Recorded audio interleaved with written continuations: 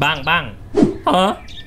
Ini bang, udah aku cabut nyawa Tono. Hah? Tono? Siapa tuh? Abang kan yang tadi suruh cabut nyawa orang yang namanya Tono. Ini udah aku cabut lah bang. Ternyata masih bocil. Wih mana lah ada Martin? Salah lagi kau. Yang tadi ku suruh tuh cabut nyawa si Tony Martin. Eh, eh Tony abang. Salah dengar berarti aku bang. Alah nggak heran lah aku kalau kau.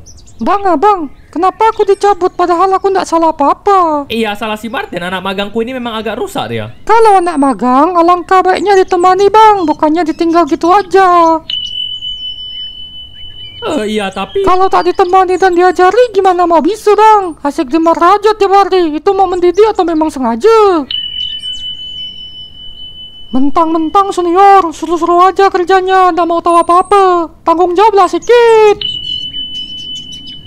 Eh, eh, ya, ya udahlah kau ya Martin kau bawa balik lagi nih bocil. Nah ini ton yang ku maksud tuh Martin.